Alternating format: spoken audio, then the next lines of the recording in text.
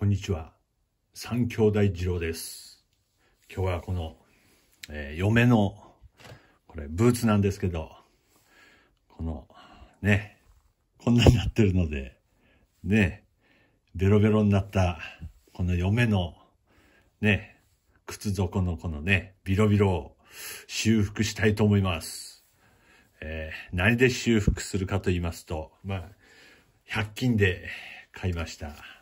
ね、靴底用接着剤。まあ、5分から15分後に貼り合わせるだけと。え ?5 分から15分後に貼り合わせるだけ。塗布して。ね、両面に塗布して。まあ、15分ほどで完了するということですかね。まあ、今は冬時なので、えーひっつきづらいと言いますか、乾きづらい、えー季節になってますので、まあ、30分ぐらいね、ちょっと見てみますか。では、やっていきます。ね。まずあの、これね、靴の汚れを落とすと。ね。まあ、あらかじめ汚れは落としてありますので、では、ここのね、まあ、靴底の方と、まあ、こっちの方と、両方に塗布するということで、えーまあ、こちらの靴はまあ、大丈夫そうなので、ね、まあ、少し、まあ、ここに塗っときますか、こっちもね。では、まあ、こっちの方やっていきます。ね。これを、ね、バッと、ね、豪快に開けますから、豪快に。ね。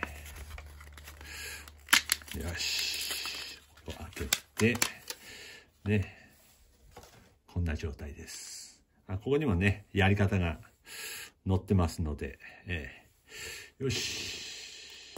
おおすぐにね、落ちました。これ、液が。これね。えー、しもた。お怒られる。怒られる。はい。では、これを塗っていきます。まあ確かに強力そうな接着剤ではありますけども、これね、とりあえず、普通の、なんか匂い的には、あれですね、あの、プラモデルに使うような感じの接着剤の匂いがしますけど、よし、これね、なるべくきちんと塗ると。よし。よし、OK! よし。OK、OK。そしたらこれをね、こう、ひっつけておくと。あら、結構塗りすぎたからこれね、ちょっとはみ出ている感じはしますけども。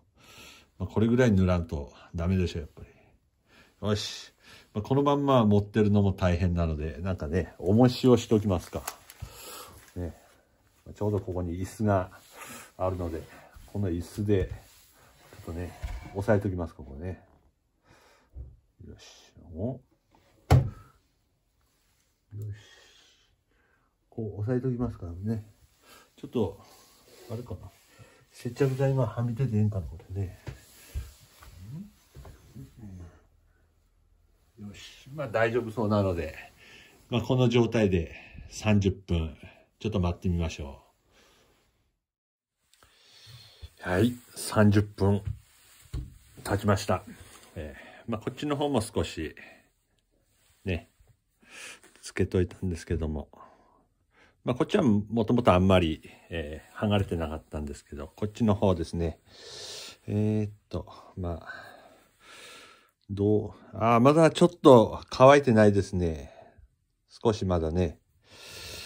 あれなので、多分この表面もあまり、ちょっと乾いてないということは、この中の方も、まだね、乾いてないと思いますので、これちょっと、5分から15分って書いてあったんですけど、まあ、30分でもちょっと難しいので、ね、もうこのね、安全を見て、1日置いときますか、これね。まあ、1日じゃあちょっとね、ちょっと重しをして、1日放置していこうと思います。はい。20時間、えー経ちました。もう、ちゃんとひっついてると思います。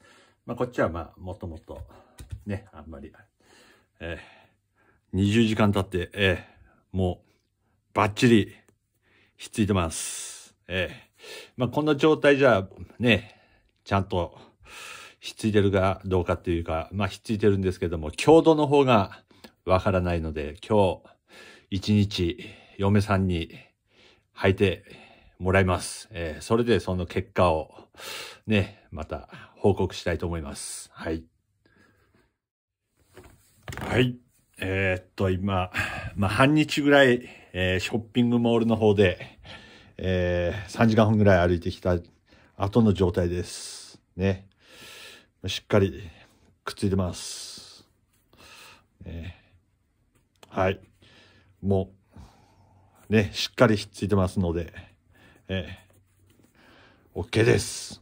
えー、ということでね、もう捨てる予定だった、ね、ここがベロベロになった、えー、靴なんですけど、えー、なんとかね、100均の、これね、靴底接着剤を使って、えー、修復できました。まあ、どれぐらいね、持つかわからないですけども、とりあえず、まあ、1日は確実に大丈夫でしたので、まあ、あと、どれぐらい持つかわからないですけども、えまあ、とりあえず100均のこのね、靴底接着剤で治りました。大成功です。では、また。